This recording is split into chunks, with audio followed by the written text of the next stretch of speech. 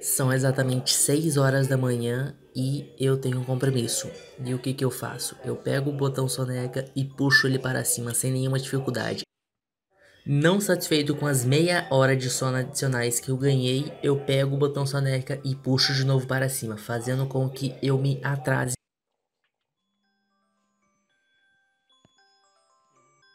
Agora já são 7 horas e eu preciso sair de casa correndo para não chegar atrasado no meu compromisso.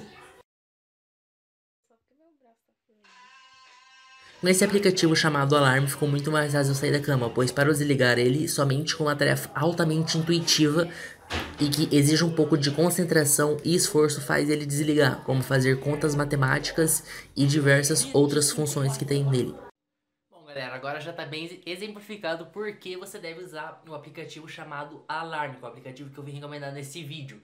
Vocês viram que, tipo, pra você desativar ele, você tem que fazer, tipo, alguns exercícios. Eu vou falar quais que tem pra você fazer aqui. Só deixa eu abrir aqui.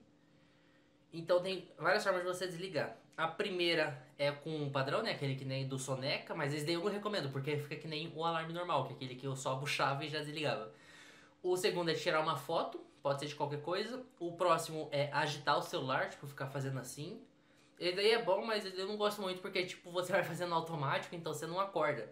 Aí tem problemas matemáticos, que é o que eu gosto de fazer, porque depois que você faz algumas contas, tipo, é, lá no vídeo tá, eu te, faço só 10 contas.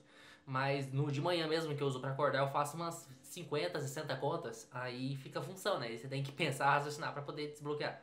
O próximo é um código de barras. E esse daqui eu acho bem bacana que assim, tem como você pegar um livro específico ou algum produto específico, aí você bipa ele e coloca tipo em cima do guarda-roupa, algum lugar assim, um lugar que é difícil de você pegar e você tem que escanear. Aí daí no próximo é o tipping, que é você ficar digitando alguma coisa, escrever o número limitado de palavras, e o outro é caminhar. Mas esses daqui são pro. é pro pago, tá ligado? Tipo, só pro.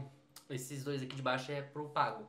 E realmente esse aplicativo é muito bom se você usar ele com maestria, porque diferente do despertador normal, que você só usa e pronto, ele tipo só desativa assim, ele esse daqui ele é diferente. Ele faz você fazer alguma coisa para você despertar o seu corpo.